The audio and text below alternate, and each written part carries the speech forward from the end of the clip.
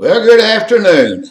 How often do we think about how much different life would be for us if we were back under the Old Testament law than what it is for us living under the dispensation of divine grace?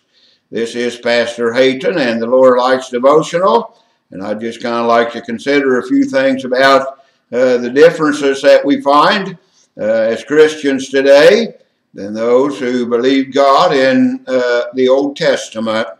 Now, back in the Old Testament, there are at least 600 rules or laws that the people were expected to keep, besides all of those that the religious leaders placed upon them.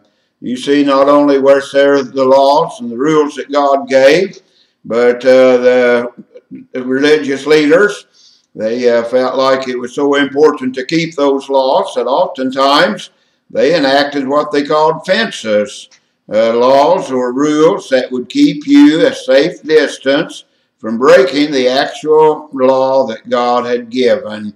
So we know that uh, life under the Old Testament was laborious. We know that life under the Old Testament was constantly trying to uh, please God by, by doing uh, all that God had commanded them to do in the moral and the ceremonial law. But today, we Christians, we find that Christ really simplified things when he just gave us two rules. He said, first of all, that we're to love the Lord thy God with all of our heart, with all of our mind, with all of our soul. Then he went on to give another rule, and that was that we are to love our neighbor as ourselves. And that's all we need to remember today. We don't have to remember all of the different things that pertain to uh, obedience to the Old Testament laws. I don't know how people could remember all of that myself. All we have to do is to remember that we're to love the Lord God with all of our heart. That is, He is to be first in all of our life. All the decisions that we make, all of the things that we partake of, all of the things that guide our life, He is to come first. And I think that if we'll just put God first, we find that's just a pretty good way to live our life. So I know that Christ has said that we're to love the Lord thy God with all of our heart. He is to have first place in our life.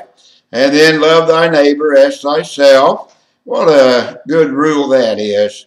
If everybody loved their neighbor as they love themselves, uh, we wouldn't have to worry about telling lies about our neighbor. We wouldn't have to worry about coveting what they had. We wouldn't have to worry about uh, cheating them in any way. We wouldn't have to worry about uh, relationships because if everybody loved their neighbor as themselves, well, we'd all get along just pretty well, wouldn't we? We wouldn't have all of the discord and we wouldn't have all of the strife between people in different relationships and you know, when we get along with others, that enables us to get along with God.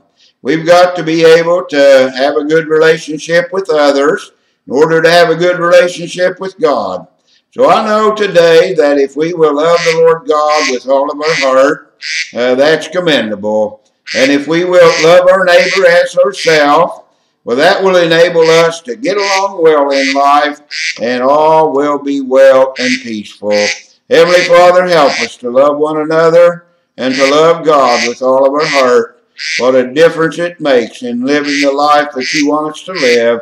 Now bless us throughout the day in Christ's name. Amen. Well, I'll see you tomorrow on Lower Lights Devotional here with Pastor Hayton. Goodbye now.